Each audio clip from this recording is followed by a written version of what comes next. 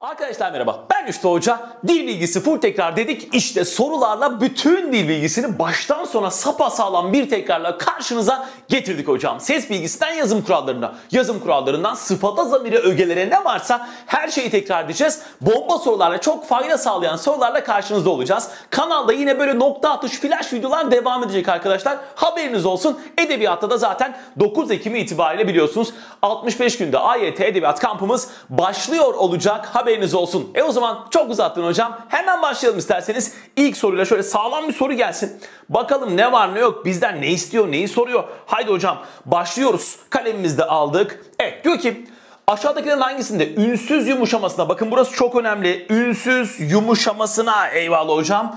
Aykırılık vardır. Ünsüz yumuşamasına aykırılık demek yumuşama olması gerekirken olmamış olması demek. Bu hocam ha anlatabildik. Peki hocam hemen bakalım.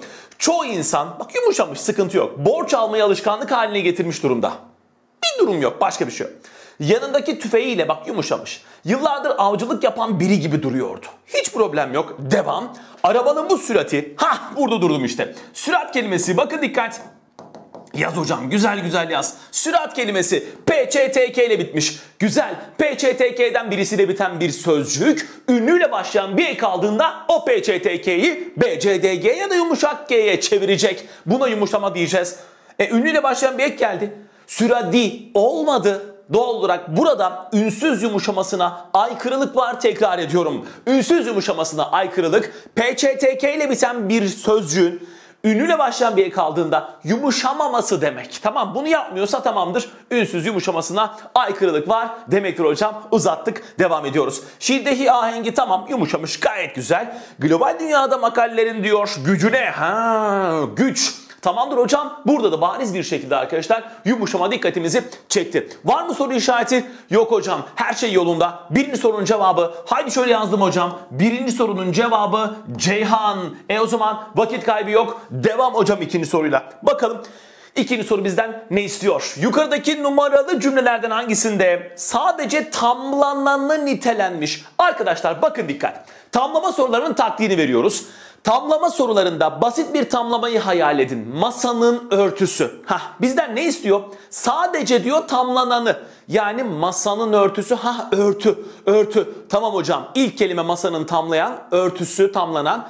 Ha masanın eski örtüsü. Tamlanan nitelenecek. Ha Anladım hocam. Yapacağın şey bu. Yani tamlama ile ilgili sorularda masanın örtüsü tamlamasını hatırlayacaksın. Ne istiyorsa kafanda vereceksin olayı. Sonra da uygulayacaksın onu arayacaksın. Nasıl yani hocam? Hemen bakalım. Tepenin ardına, tepenin ardı. Burada bir isim tamlaması var. Araya bir şey gelmemiş, tamlanan nitelenmemiş. Ama bir türlü vesaire geçtim. Suskun duran çocuğun konuşması, çocuğun konuşması yine bariz bir isim tamlaması dikkat çekiyor. Araya yani tamlananın başına herhangi bir sıfat mıfat gelmemiş. Hele ki mıfat hiç yok. Devam. Sempozyumda eserin kısa bölümü oba burada durdum hocam. Eserin kısa bölümü diyor. Eserin bölümü ifadesi bir isim tamlamasıdır. Nasıl bölüm hocam? Kısa bölüm. Tamamdır hocam. Eyvallah. Ne yapmış? Tamlanan sıfat almış, nitelenmiş. Bu kadar net. Kafanızdan lütfen bariz bir tamlama hayal edin. Ona uygulayın verilen soruyu. Sonra da artık yürüyün üzerine. Kullanılan kelimeleri seçerken çok tiz davranırdı. Burada isim tamlaması bile yok. Şarkı sözlerini, şarkının sözlerini evet bu bir isim tamlaması ama tamlanan sıfat falan almamış arkadaşlar. Güzel gidiyoruz, sağlam gidiyoruz. Bu tarz nokta atışı videolarla her gün yanınızda olmaya devam edeceğiz. Haberiniz olsun olur mu? E o zaman haydi. Bu ikinci soruydu. İkinci sorunun cevabı neredesin hocam? Hah 3 numara. Ceyhan aman dikkat. İkinci sorumuzun cevabı da yine Ceyhan olarak karşımıza geldi. Ceyhanlar günü bugün. Gelsin hocam. Üçüncü sorunun cevabı ya da sorunu bir görelim şöyle. Hah Haydi hocam geçiyoruz sorumuza. Ne diyor? Hangisi yanlıştır? Bakın arkadaşlar cevap Adana bile çıksa, cevap Adana bile çıksa lütfen bu numaralı cümleler ya da numaralı sözcükler fark etmez. Bu tarz olumsuz sorularda cümle ya da sözcük incelemelerde lütfen aşağıdan yukarıya doğru gitmeyi bir alışkanlık haline getirin. Bu soruyu inanılmaz hızlı çözdürür. Aman dikkat lütfen bu uygulama sorularında, inceleme sorularında kesinlikle Edirne ile başlayın olur mu? Hadi devam edelim başlayalım. Bir de diyor tamlayan sıfat almıştır. Bakıyorum bire. Görülesi yerler serisi.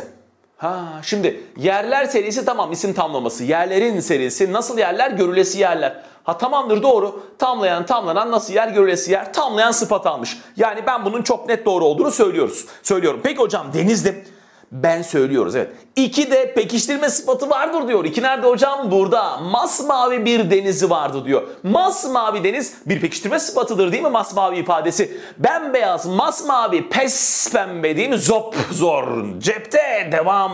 Üçte tüm sözcükler sıfattır. Üçe bakıyorum. Çok sık gidilemeyen bir yerde. Allah'ını seversen nasıl hepsi sıfat olabilir ya?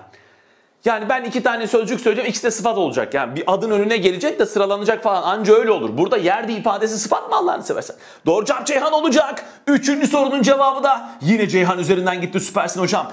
İkiye bakıyoruz daha doğrusu Bursa'ya dörde. Dörtte belirtme sıfatı kullanılmıştır. Belirtme sıfatlarının şifresini biliyorsunuz. Sips, sayı, işaret, belgesiz ve soru sıfatı. Sips ifadesi bizim belirtme sıfatlarımızın şifresi arkadaşlar. Lütfen cebinizde kalsın. Bakalım dörde neredesin? Dört buradasın. Bu yeri hangi yeri bu yeri? Ha işaret sıfatı var. İşaret sıfatı bir belirtme sıfatıdır arkadaşlar. Gayet net, gayet anlaşılır. Kafalarda hiç soru işareti kalmasın bomba gibi.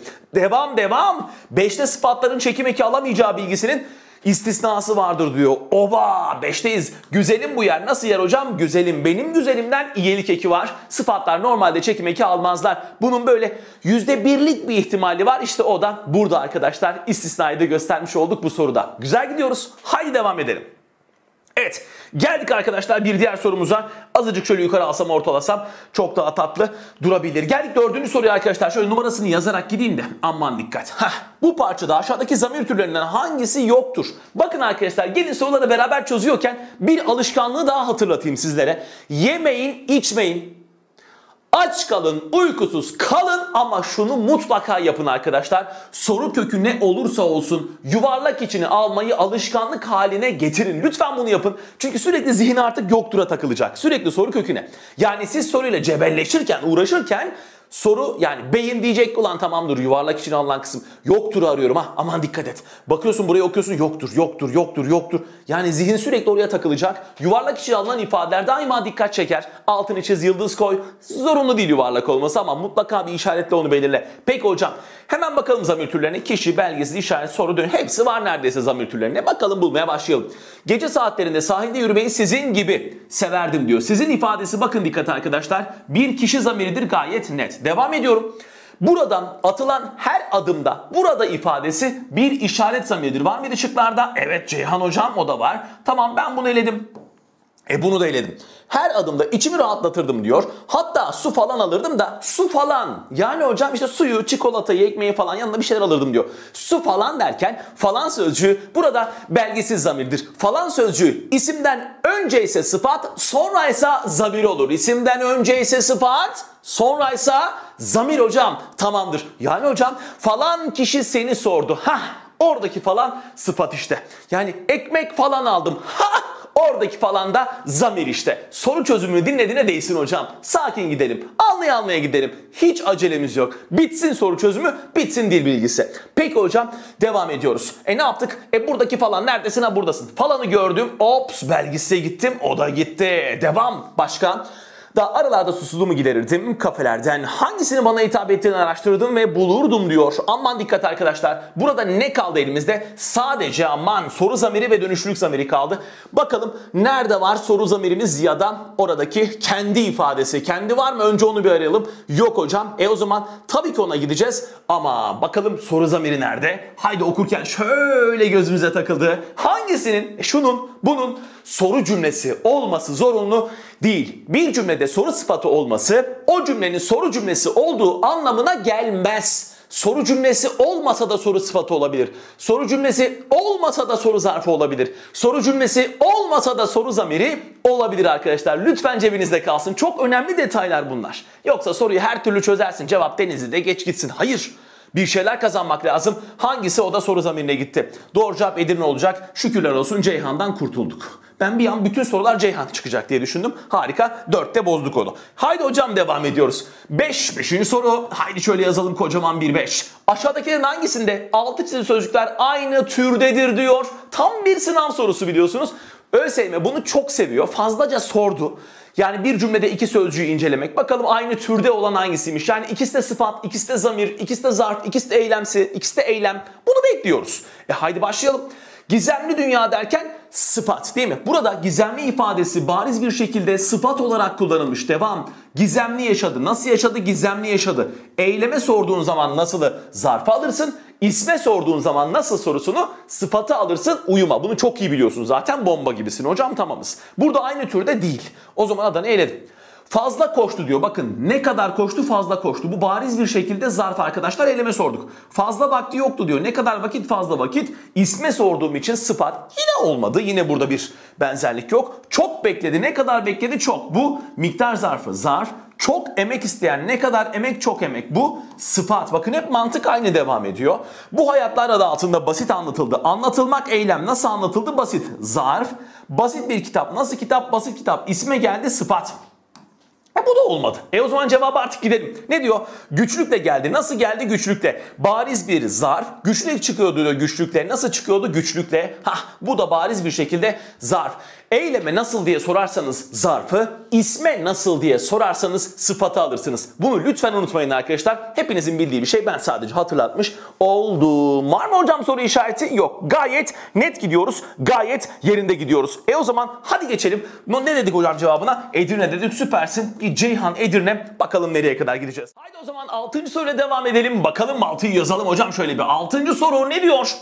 Hem edat hem de bağlaç kullanılmış olsun. Edat bağlaç. Bakın güncel bir soruyla karşınızdayım. Güncel bir bilgi aktarmak için. Bakın arkadaşlar çok şey değişti edatlarda. Yalnız kelimesi artık sadece anlamında kullanıldığında edat olmuyor. Zarf oluyor. Türk Dil Kurumu bunu zarf kabul ediyor artık. Bu bilgi değişti son dakika. Ama bakın bunu söyleyelim hatırlatalım. Sadece kelimesi de doğal olarak zarf olacak. Bir cepte kalsın olur mu? Hadi başlıyoruz. Edat ve bağlaç arıyoruz. İçin edat. Sadece zaten zarf. Onunla işimiz yok. Bağlaç var mı bu cümlede? Mangal yakmak için piknik ilerlerken Sadece bu alanları incelemesi mutlu etti. Burada bağlaç yok. Devam. Buralar öteden beri ha burada arkadaşlar den beri edatı var. Piknik alanı olarak kullanılmış. E bağlaç yok. Devam ediyorum 3 numaralı arkadaşlar. Ne diyor? Başka yerler kullanılmamış mı düşünmek lazım? Eyvallah. Burada mımi soru edatı var. Mükemmeldi. Bize göre ha e göreyi yakaladım hocam. E göre edatı var burada. Gayet net göre edatı. E göre. Buralarda piknik dışında maçlar da yapılmış. Oba, dade bağlaç. E göre de zaten edat. Edat ve bağlacımız var. Doğru cevap kesinlikle neredesin 4 numara? Süpersin. Arıyorum. Evet burada Adana'da. Aman hocam. Aman hocam cebinde kalsın. Buralar kuru olduğundan ötürü biraz terk edilmiş gibi görünüyor demiş. Den ötürü bariz bir şekilde edattır gibi edattır ama burada da bağlaç yoktur. Doğru cevap kesinlikle Adana olacak. Şıkların dağılımına dikkat edin arkadaşlar. Yani çok böyle sınavda şu ana kadar böyle çok karma yapmadılar, uygulamadılar ama dikkat etmekte fayda var. Yani 4 numara deyip gidip Opte'ye Denizli'yi hemen işaretlemeyin lütfen. Eliniz alışsın hocam, el alışkanlığı olsun mutlaka. Kitapçığa işaretledikten sonra Opte'ye gidin olur mu? Bu çok çok önemli. Lütfen sona bırakmayınız. Peki hocam geldik 7. soruya. Haydi hocam şuraya kocaman bir 7 yazdım. Bakıyoruz beraber. Ne arıyoruz? Yukarıdaki numaralı cümlelerden hangisinde hem basit hem birleşik zamanlı eyleme yer vermiştir. Basit zamanlı eylem demek bir tane kip eki demek arkadaşlar. Tamam lütfen uyuma aman dikkat. Basit zamanlı eylem demek aman dikkat. Basit zaman diye şöyle yazayım hocam. Bir tane kip eki alması demek bir kip. E birleşik zamandan kastımız ne hocam? Aman dikkat birleşik zaman demekse iki kip eki demek lütfen cebinde kalsın. İki kip bir kip. E haydi bunların ikisi de bir cümlede olsun diyor bana. Hadi bakalım. Görüşmesi bitince yanıma geldi. Geldi. Bir tane kip eki var. Dı Görülen geçmiş zaman gördüm diyor ben. Gördüm baktım. Ha tamamdır. E basit zaman o zaman devam. Ve yapacaklarını anlattı. Dı Bir tane kip eki var. Yine basit zaman. Birleşik zamanı göremedik. Görüşmeler atı artınca rahatsız oldu. Dı süper. Bir tane ekip eki var. Basit zaman ve hemen oralardaki, oradakileri uyardı. Uyarmak kelimenin kendisi. Dı var. Bir tane ekip eki var. Basit zaman. Günlerdir bu sınava hazırlanıyordu. Yordu. Hazırlanıyor idi. Şimdiki zamanın hikayesi. Birleşik zamanı gördük arkadaşlar. Harikasınız. Ve sonuçta istediği gibi gelecekti diyor. E bu da birleşik zaman. E basit zaman yok. E bunu da geçtim. Bizimle konuştu. Ha basit zaman bu. Konuştu. Tamam başka var mı? Ama bir yandan da not tutuyordu. Ha şimdi oldu işte yor ve dıdi. Şimdiki zamanın hikayesi. Bir tarafta Eh basit zaman var. Bir diğer taraftaysa birleşik zaman var. E bizden de zaten bunu istiyor. 4 numara olacak. Neredesin? Deniz'le süper. Artık şıklardaki rutin dağılım kırıldı. Her şey cevap olabilir. Hazırız artık. Peki geldi ama geldi basit zaman. Geldiğini orada kimseye belli etmedi. Dı değil basit zaman. Var mı soru işareti? Yok hocam. E haydi devam edelim. 7. sorunun cevabı Deniz'de olacak. Geldik arkadaşlar 8. soruya. Bakalım burada neler değişiyor. Hemen başlıyoruz. Bu parçadaki numaralı cümlelerden hangisinde isimden türemiş bir eylem kullanılmıştır? İsimden türemiş eylem ne demek Allah'ını seversen? Şu demek ya bir örnek yazacağım aklıma bir şey geldi ama inşallah cevap değildir. Bir bakayım. Yani inşallah değildir. Neyse ben bir yazayım hocam. Şu muhtemelen değildir. Başladı. Mesela başladı ifadesi isimden türemiş bir eylemdir.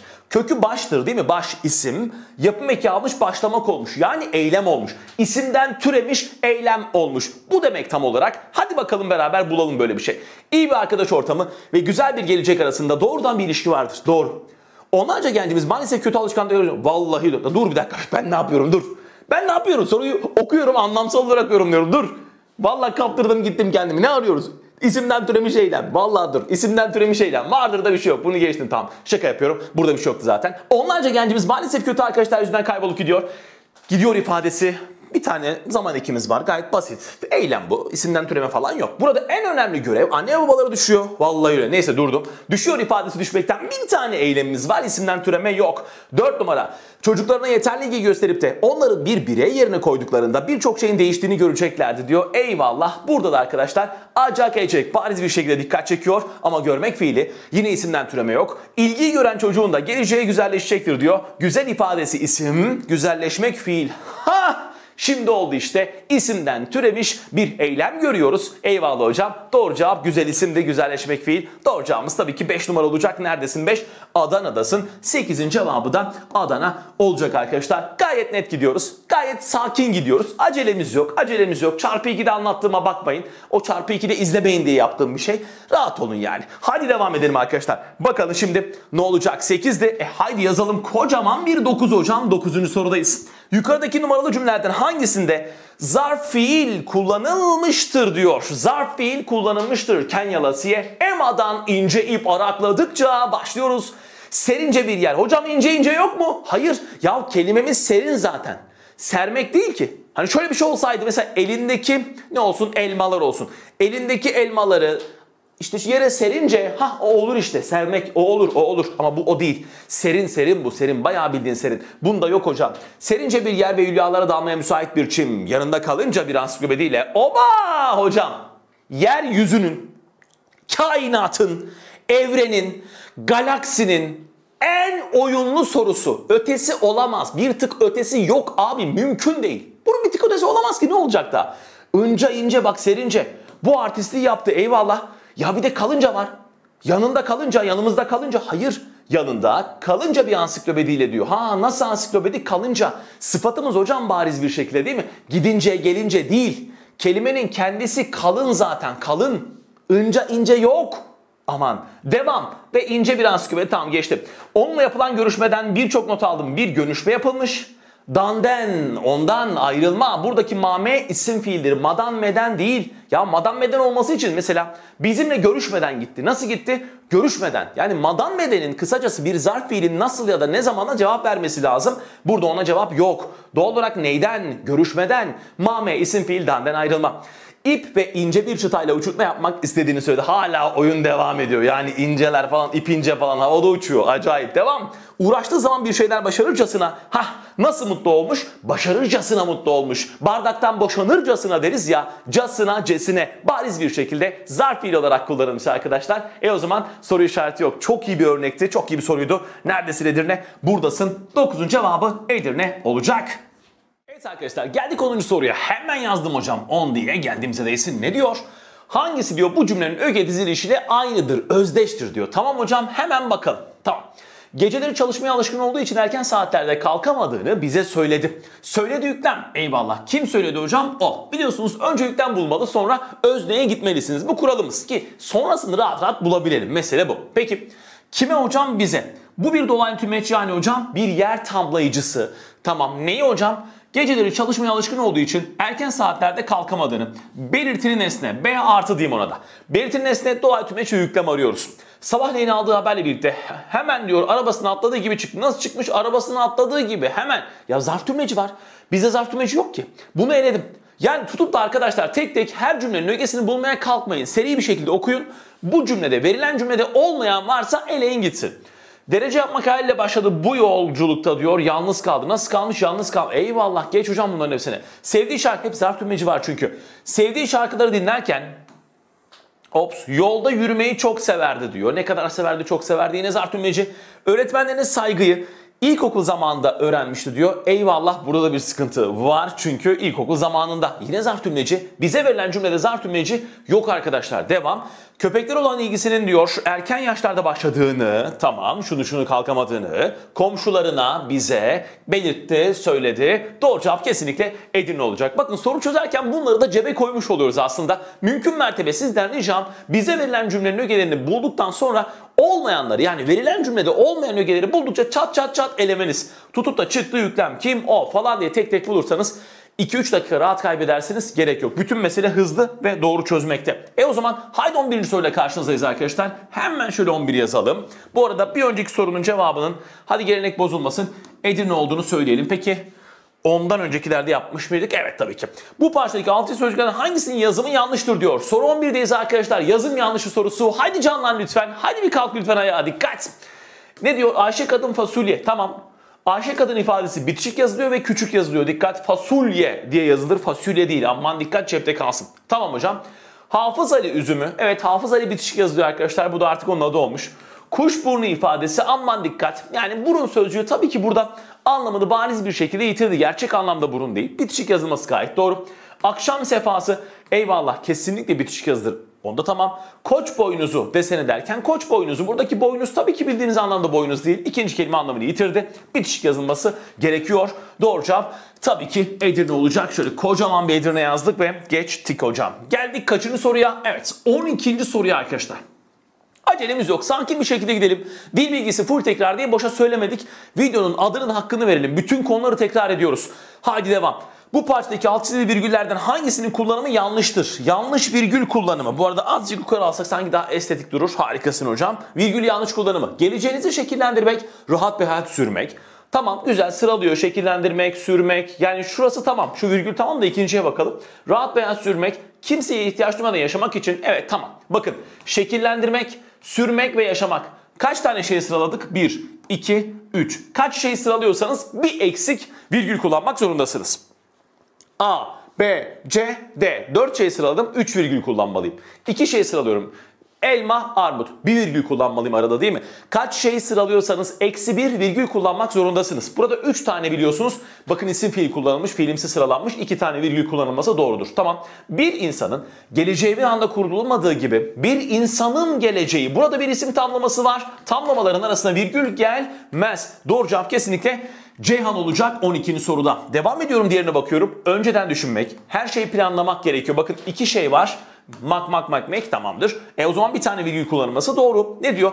Ciddi bir emek ister. Emek virgül istek gerekiyor. Emek istek. iki şey var. Bir tane virgül kullanılması gerekiyor. Gayet yerinde hocam. Bunu da cebe koymuş olduk. Kaç şey sıralıyorsanız bu ne olursa olsun şart tipi bile olsa burada olduğu gibi fiilimsiler de olsa zarf fiil, isim fiil, sıfat fiil fark etmez. Sıralanan şeyler arasında virgül kullanılması zaten doğru bir şey. 4 şey ise 3 virgül, 5 şey ise 4 virgül gibi düşünmenizde de büyük fayda var arkadaşlar. Haydi uzattın hocam doğru cevap Ceyhan'dı. Devam edelim edelim. Eh 13. sorumuza geldik arkadaşlar. Bakalım ne olacak. İfadelerinden hangisi yoktur diyor. O bayağı cümlemiz var. Bu cümlede de böyle baya baya bunları tek tek bulmamız isteniyor. Hadi bakalım. Bu arada gövdeden türemiş sözcük ifadesi olası bir 2024 sorusuna dönüşebilir arkadaşlar. Yani olası bir seçenek eleme. Tek başına sorulması zor da. Çünkü soruyu harcamış olurlar. O kadar kişinin gireceği sınavda. Sanmıyoruz ama gelirse de baya baya ters köşe yaptırır hazır olmakta fayda var. Bakalım. İsimden isim yapan yapım eki, belirtme durum eki, fiil kökü, gövde, gövdeden türeme. Çocukluğundan diyor bakın dikkat çocuk kelimesi lıklık almış. Yani bir sözcük bir tane yapım eki almışsa ona gövde diyoruz. Tamam sıkıntı yok. Sürekli Sürmekten sürekli sürekli eyvallah bu da alınabilir. Karmak, karışmak, karışım bu daha hoş oldu. Karmak, karışmak, karışım. iki tane yapım eki var. Bir sözcük birden fazla yapım eki alırsa ona gövdeden türemiş sözcük diyoruz. Doğal olarak gövdeden türemiş sözcük de var. Bu tamam, bu tamam. Fiil kökü var mı? Yapma eylemi içerisinde oldu. Olmak fiil kökü bu da tamam. Belirtme durumu eki neydi hocam? I, I, U, Ü. Belirtme, gösterme ya da yükleme olarak da biliniyor arkadaşlar. Çocukluğundan beri sürekli vesaire vesaire yapma eylemi. Hmm, bakın dikkat. Burada durdum hocam. Yapma eylemi derken acaba Şuradaki i'yi belirtme durumu eki midir? Bakalım. Ne diyor? Karışım yapma eylemi, yapmanın eylemi aslında. Doğal olarak burada bir gizli nınnenimiz var. Yani tamlayanımız. E burada da tamlananımız. Bu tabii ki tamlanan. Doğal olarak bu asla ama asla belirtme durumu eki olmaz. E başka bir ek olmayacağına göre belirtme durumu eki yok. Peki isimden isim yapan yapım eki hangisi? Çocuk isim, çocuklukla isim. E tamamdır isimden isim yapan belki 10 tane var. Bir tanesini göstermiş olduk. İsimden isim yapan yapım ekidir. Gayet güzel arkadaşlar. E o zaman tamamdır. Doğru cevabımız 2 numara olacak. Neredesin hocam? Buradayız. Doğru cevap kesinlikle Denizli olacak. Bu arada arkadaşlar Flash videolara devam edeceğiz. Nokta atış videolar ÖSYM Sever serisi bizi bekliyor. Haberiniz olsun. Geçen sene yapmıştık. Daha onlarca şey bizi bekliyor. Ee, kampı da sıfırdan paragraf kampında yakın zamanda duyuracağım. Nasıl başlayacağız, neyle başlayacağız, nasıl gideceğiz onları da duyuracağım ama şu flash videolar bir bitsin. içimiz bir rahatlasın. Nokta atış videolarla devam edelim. Bu arada yeni kampların tamamını bir önceki formatımızda yani hani şu ekranın köşesinde beni gördüğünüz yani şurada ben olacağım. Burada tabletimiz, burada konu veya kitabımız vesaire o görüntü. Daha önce yaptığımız formatta yapacağız haberiniz olsun. Ara ara bu formatta, ara ara o formatta, ara ara başka yerlerde. Doğal olarak arkadaşlar her kampı farklı bir formatta karşınıza getireceğim. Yine 65 günde AYT Edebiyat kampını da bakın şu daha önceki yani bu akıllı tahta öncesinde kullandığım formatı kullanacağım. Onu bitireceğiz başka kampta bu formata geçeceğiz. O bitecek öbür kampta belki dışarıda bir şey yapacağız falan. Doğal olarak her kampı farklı farklı formatlarda karşınıza getireceğim. İçiniz rahat olsun. Her şeye herkese hitap etmek adına. Peki hocam geldik 14. soruya. Yaz hocam 14 diye çekinme. Yazdım hocam. Yukarıdaki numaralanmış cümlelerden hangisinde farklı nedenden kaynaklı bir ünlü türemesi vardır diyor. Oba bu ne demek hocam bakalım. Son güne kadar çalışmış gibi görünse de aslında azıcık çalıştığını, ha azıcık Cık cık küçültme eki gelirken türeme arkadaşlar. Onun tüm olanlara rağmen sapa sağlam. Ha burada da pekiştirme sırasında a e'nin kullanıldığını yani türediğini görüyoruz. Her soru etrafı çepeçevre. Ha Cevabımız bir numara. Bakın pekiştirme sırasında türeme var. Pekiştirme sırasında türeme var. Güpe gündüz pekiştirme sırasında. Onun dışında bakıyorum düpedüz. Yine pekiştirme sırasında bir türeme meydana gelmiş. Ama A'da küçültme eki gelirken doğru cevap Adana olacak 14. soruda hocam. E o zaman Hadi devam edelim. Bitmedi mi hocam? Bitmez. Bitmez abi. Bitmez. Daha yeni başlıyoruz. Bismillah kısmındayız. Rahat olun. 15'teyiz. Ne diyor? Aşağıdaki dizelerin hangisinde ikinci dize zarf tümlecidir? Yani şurası bir önceki cümlenin ya da oradaki var olan cümlenin zamanını belirtsin diyor. Bakalım. Sevdiğini düşünerek onlarca fedakarlık yaptı. Gözlerinde onun sevgisine yer vardı. Bu bir cümle tek başına. Yani şöyle olmalı. Burada bir cümle olacak aslında. Şurası bir cümle olacak. Tek cümle. Burası da o cümlenin zarf tümleci olacak. Aslında söylemek istediği şey bu. Burada iki ayrı cümle var. Alakasız yani bu. Devam. Sırma saçlar gül dikenini andırır. Sual etsem beni hep kandırır saçmalık. El çek tabip yaram benim karışma dikkat. Göz ucuyla acısını çekerken. Heh göz ucuyla acısını çekerken ey tabip diyor el çek diyor tabip yaramdan diyor. Karışma diyor. Ha bu işte zarf tümlecidir o cümlenin. Doğru cevap kesinlikle Ceyhan'dır hocam. Hatta Çeyhan'dır. Çey yazdım. Çeyhan hocam. Oynadın öylece duygu selimle. Sarıldım yokluğuna. Senin eline geç hocam saçmalık. Ağlarken gözlerim seni aradı. Göremedim görmedim seni de. Bir üzüntü geldi. Bu ne Allah seversen. Bu ne? Devam et hocam. Sıkıntı yok. Zarf tümleci değil o. Bir cümlenin zarf tümleci değil. Kendi içinde bir cümle zaten. Doğru cevap Çeyhan olacak. Devam hocam neredeyiz? 16. sorudayız. Bakalım 16. soru bizleri ağlatacak mı? Bu parçadaki numaralı cümlelerden hangisindeki altı çizili sözcükte yazım yanlışı vardır diyor. Oba abi yazım yanlışına gittik tekrar geldik. Hadi bakalım. Türk Dili ve Edebiyatı bölümü aman dikkat. Bölümün B'si büyük yazılacak değil mi? Tamamı bir bölümün adı nihayetinde. Özel ada dahildir unutma. Beyazıt Kulesi doğru cevap tabii ki bir numaradır onu bir gösterelim. Beyazıt Kulesi'nin K'sinin büyük olması çok yerinde. Kesmeyle ayrılması aman dikkat ne yapıyoruz hocam? Büyük harfle yazdık. E, özel isme dahil ettik. Tabii ki kesme işareti gelecek. Devam. Don Kişotluk diyor. Karakter olan Cervantes'in romanındaki Don Kişot olsaydı tabii ki büyük yazacaktık. Özel isim de özel addı ama Don Kişotluk artık bir kavram haline gelmiş. Yani gereksiz kahramanlık anlamında. D'nin küçük olması doğru. Birçoğumuz bitişik. Hak edenlerse eyvallah tabii ki ayrı yazılacak. Bakın ben size hemen bir bilgi aktarayım arkadaşlar. Nedir o bilgi hocam? Eh o zaman bir gelsin görelim. Bir gelsin hocam. Bir artistlik yapmak istiyorum ama yapabilecek miyim bir bakayım bir. Hani o beyazı büyütürsün de oraya yazarsın ya. Yok tamam yapamadım. Tamam şuraya yazayım dur. Ha hatta var ya çok değişik bir artistik buldum. Ha burada dursun abi bak. İki tane hak etmek kelimesi var arkadaşlar. Bir tanesi hepimizin bildiği, oba kaleme geçme. Kaleme geçmedik hocam ha. Bir tanesi hepimizin bildiği hak etmek. Ha büyütünce tabii ister istemez yazıyı da büyüttü. Neyse böyle güzel gidiyor, böyle güzel gidiyor. Bildiğimiz hak etmek. İşte şunu şunu yapmaya hak etti, hak etti, hak kazandı değil mi? Bunu hak etti, şunu şunu almayı hak etti. Bildiğimiz anlamdaki hak etmek ayrı yazılır.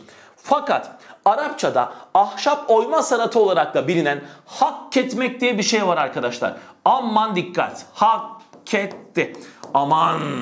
Hak etti ifadesi arkadaşlar hak etmekten. Arapçada tekrar ediyorum ahşap oyma sanatıdır. O ayrıdır, bu ayrıdır. Hak etmek ayrı yazılır ama öbür hak etmek oyma sanatı bitişik yazılıyor. Cebinde kalsın hocam. Bence havalıydı. Bence havalıydı ben sana söyleyeyim. Neyse bir geri aldım. E tabii ki ondan sonra da küçültmemiz lazım. Hemen aldım hocam. Bakalım o artistliği yapabilecek mi? Vallahi başarılı. Vallahi başarılı. Abarttın tamam. Abarttım başarılı. Güzel. Tamam hocam. Sonrasındaki sorumuz tamamdır. Var mı başka sorumuz? Olmasın hocam bence fazlası yeterli. İçiniz çok rahat olsun. Yazından noktalamaya, eh ögelerden yapıya her şeyi gördük ses bilgisine kadar. Hemen kalemimi hocam bıraktım ve döndüm sizlere. Güzel gidiyoruz, sağlam gidiyoruz. Bugün yarın bir kamp daha başlatacağım. Sıfırdan paragraf kampına kadar biraz daha dil bilgisiyle sizleri şöyle bir yoğuralım istiyoruz. O kafaları, beyinleri iyice bir yoğuralım istiyoruz. Ki iyice dil bilgisi bitsin. Oh be diyelim tamam her şeyi yaptık hocam. Sonrasında da içiniz rahat olsun. Sıfırdan paragrafla inanılmaz bir paragraf kampı başlayacak arkadaşlar. Orada da böyle satır satır kitapla birlikte götüreceğiz. İçiniz rahat olsun. O biter öbürü başlar. Kafanızda hiç soru işareti kalmasın arkadaşlar. Yeni videolarda yarın bir gün görüşmek üzere. E o zaman kolay gelsin.